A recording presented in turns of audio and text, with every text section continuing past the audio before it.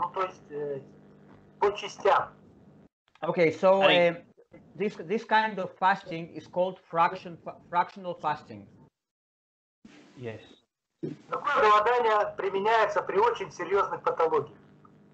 And uh, we use dry fasting when uh, a person is seriously ill.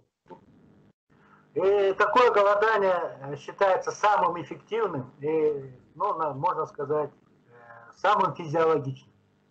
So this kind of fasting is considered to be the most effective. Э, И для современного человека, если у него есть серьезные патологии, это голодание самое физиологичное. And and uh, and for the modern person, especially with serious diseases, this kind of fasting is the most beneficial, the most physiologically adapted. И поэтому есть такой закон, что если между голоданиями меньше двух месяцев, меньше двух месяцев, And therefore, therefore, there is a rule that uh, if the period in between two periods of fasting is less than two months, то и соблюдается определенная диета э, вегетарианская. then uh, uh, ah, and and the person keeps a particular diet, which is vegetarian diet, то тогда голодание будет наслаиваться на голодание. Ну, то есть я проще объясню, что, э, допустим, э, пройти э, 11 дней может не каждый человек. Mhm.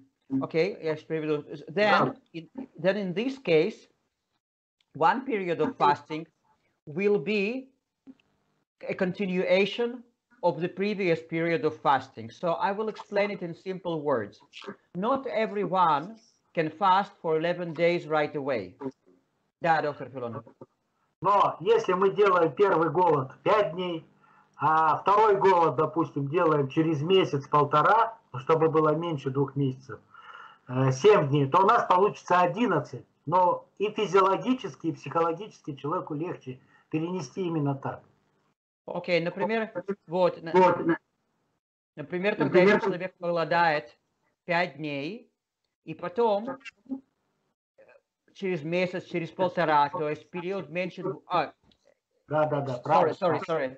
Uh, so if a person is uh, fasting uh, for like five days and then waits less than two months, let's say one, mo- one month, one month and a half, keeps particular diet, and then fasts another seven days, then we get to we get it to 11, 12 days, something like that.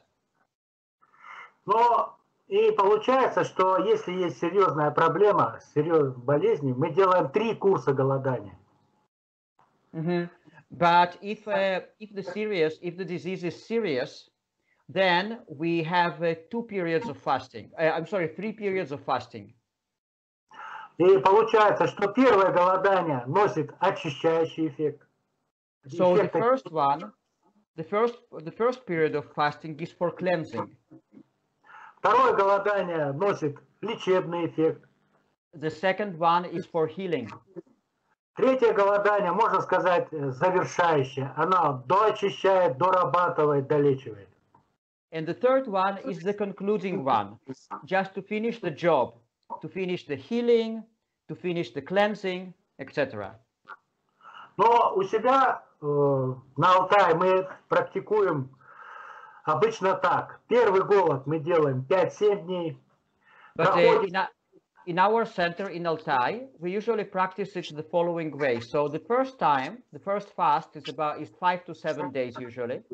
Yeah. Второй голод э, мы делаем э, от 9, 9-10 дней. Uh, The, the second period, nine, ten days. И третий голод завершающий мы делаем 7 дней. Вот это считается самая физиологическая лечебная сис- ну, цикл. And the third period is seven days. And we can say it, it is considered to be the most physiologically adaptive uh, and uh, the, mo- the most beneficial healing system. Ну и вообще надо понять, что, э, конечно, каждый человек индивидуален, каждый человек уникален по-своему. У каждого свое восприятие. Переведите им сейчас. Yeah, but yeah, but we have to take into account that every person is individual. every person has its own levels of acceptance, tolerance, etc. И поэтому, ну, статистически и практически самый лечебный, э, э, можно сказать, день голодания сухого, это 9-10 день. Это самый лечебный. But uh, statistically speaking, the most healing day of dry fast is the ni- uh, 9-10 день, да? Да-да-да.